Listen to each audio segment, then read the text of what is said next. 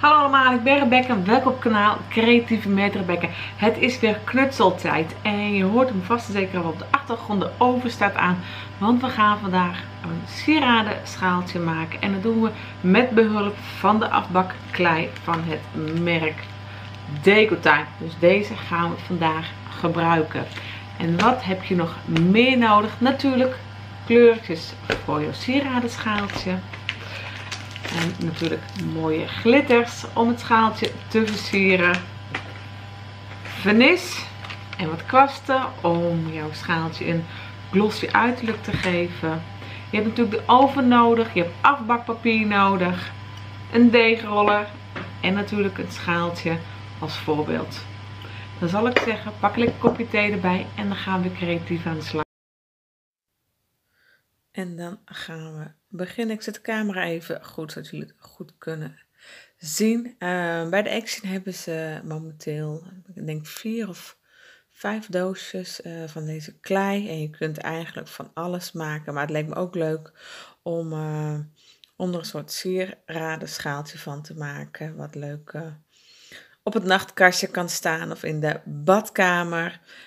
we gaan beginnen met het maken van rolletjes. En we maken rolletjes van ongeveer uh, eh, 10 centimeter.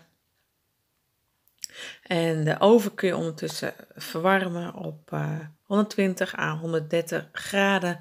Want als we straks klaar zijn, dan moet het schaaltje 15 à 20 minuten in de oven staan. En voor dit uh, project gebruik ik verschillende kleuren waar ik dus rolletjes van maak. En ik heb nu de groen en blauw tinten ertussen uitgehaald. En dit vormt de basis van ons schaaltje. We gaan deze rolletjes maken. Je hebt er een aantal nodig.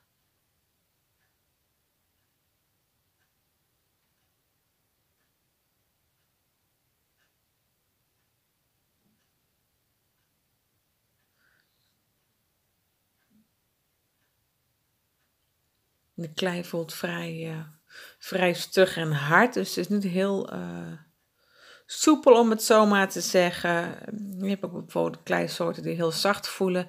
En maar deze die voelt uh, vrij hard. En je kunt hem natuurlijk voor van alles gebruiken. Voor de restanten die ik over heb zal ik een nieuwe project van verzinnen. Zodat we nog wat meer ideeën kunnen opdoen. Als ik de rolletjes heb gemaakt, dan ga ik ze naast elkaar leggen. Dan pak ik ze bij elkaar en dan maak ik er een bal van. En hierdoor ontstaat er een soort patroon. Dan ga ik de klei uitrollen met uh, de deegroller. En het vergt best wel even wat kracht en uh, wat tijd. Zoals jullie zien plak ik het ook aan uh, de snijmat plakt het, omdat ik het uitrol.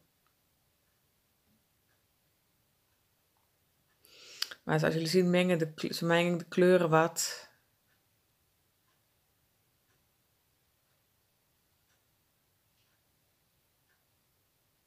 En het schaaltje wordt ongeveer 1 mm dik.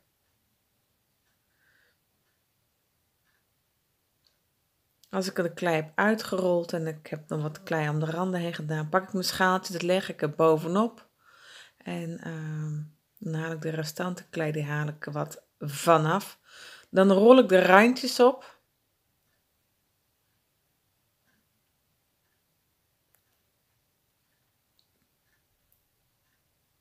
Zodat er een klein schaaltje ontstaat.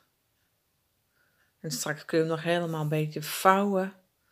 Ik doe er bij de randjes zo her en der nog wat kleine rolletjes klei, zodat de randen wat dikker wordt.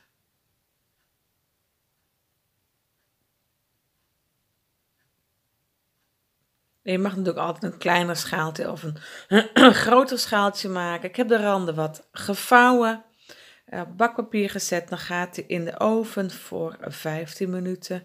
En als hij uit de oven komt, laat hem dan even goed afkoelen. En als hij eenmaal afgekoeld is, dan uh, gaan we hem vernissen, zodat hij een glossy-achtig laagje krijgt. Dan gaat hij mooi van glimmen. Ik doe wat vernisverf in het schaaltje en hiermee verf ik het, uh, het hele schaaltje. De binnen, maar ook de buitenkant. En als dit straks helemaal opdroogt, dan krijgt hij een mooi glimmend laagje. En gebruik altijd overhandschoenen als je het schaaltje oppakt. Want hij is behoorlijk warm en je kunt het pas bewerken als hij helemaal afgekoeld is. Maar dat spreekt allemaal voor zich.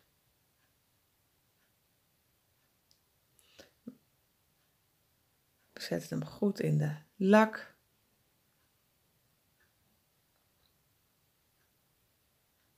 En dit droogt straks allemaal blanco op. Als die helemaal opgedroogd is, dan pak ik natuurlijk de strassteentjes erbij. En dan gaan we ons schaaltje versieren met roosjes, met hartjes, met kleine steentjes.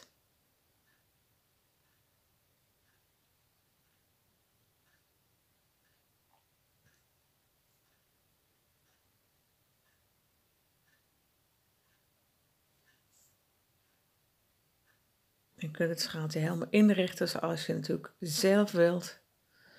Ik heb deze stickers, ze komen ook bij de Action weg en heeft een beetje dezelfde tinten als, uh, als mijn schaaltje, om het zo maar te zeggen. En dit schaaltje staat bij mij op het nachtkastje en ik heb daar mijn uh, stenen in gedaan. Want daar vind ik het ook een heel mooi schaaltje voor.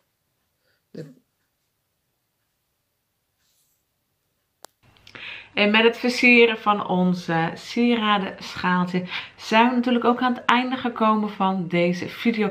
Ik zal zeggen, geef hem een mooi plekje en wil ik jullie bedanken voor het kijken naar deze video. En tot snel bij een nieuwe creatieve video.